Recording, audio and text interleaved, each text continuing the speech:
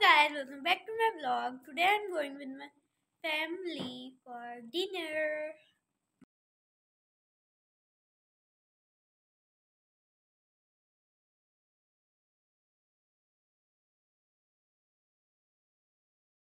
और अब मैं पहुँच गई हूँ मैं कुछ कबाब और फ्राइड राइस नान के साथ ऑर्डर किए थे tasty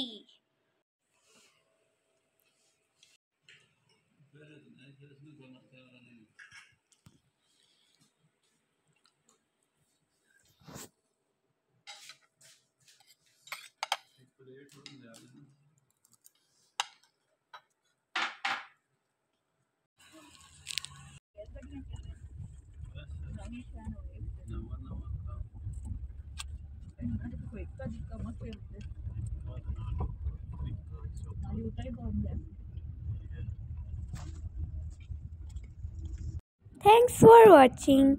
Hope you like this video and don't forget to like and subscribe. Bye.